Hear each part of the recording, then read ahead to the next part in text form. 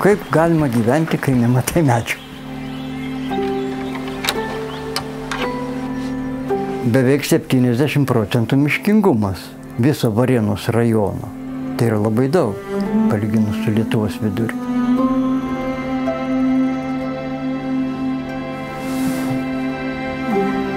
Kaimas tai yra tokia stichija, kur niekas iki galo nėra taip jau labai reglamentuota, suplanuota, niekas nėra taip iki galo aišku, kur tu esi daugiau ar mažiau kuriejas.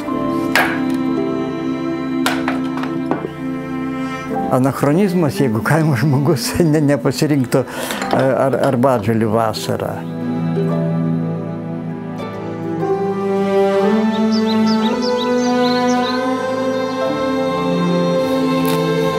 Žirgai kalbasi, bet ne taip kaip žmonės daugiausia garso signalais, tai žirgai komunikuoja kūno kalba. Ir ta kūno kalba e, yra išmokstama ir žmogaus. Ir jeigu tu su visais draugiškas, nesistengiant netgi, tai tada ir kiti su tavim bus draugiški.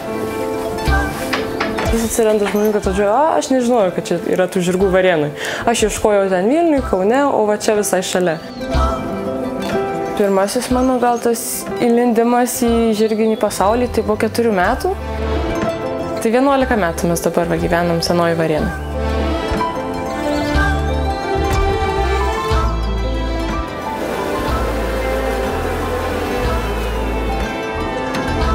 Du 2006 metais šitas bitynas atsirado.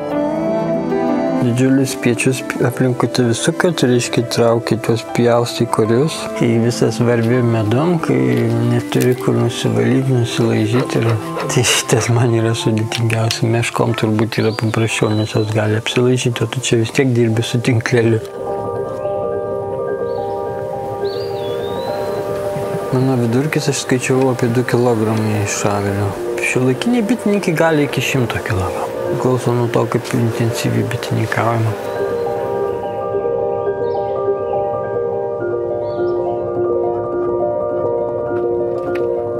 Jeigu aš išvažiuosiu toliau, aš nebūsiu prie krūčiaus. Va čia yra labai trumpas ir paprastas paaiškinimas. Kasdien reikia būti čia.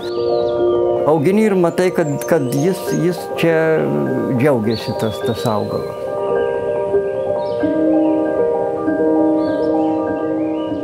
Yra išvažiuojantis, yra pasiliekantis. Ir tie, kurie važinėja, atvažiuoja pas tos, kurie pasilieka. Kraštovaizdis svarbiausia. Gamtinis, tikras, nu, nedaug paliestas.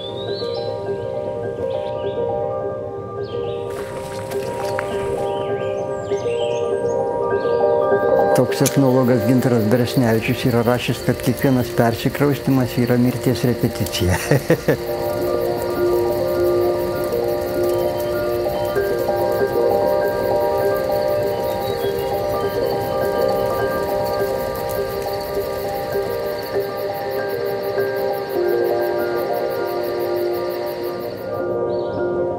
Lipau, lipau, paskui kai užlipau, jos mane užpuolė, nu, galingai užpuolė, aš dar nebuvau pasiruošęs nusileisti, tai ten reikėjo ekstremaliai nusileisti. Čia 4, 5, 6 metrai taip jau. Ten tu rankom turi išimti, nusileisti taip toliau. Tai būna košmaras. Išsitraukiau 49 gelonus. Kartai aš galvodavau, ko aš čia užsiėmiau. Šiaip va, pats lipimas ten, man patinka, aš galiu medžius lipti, taip.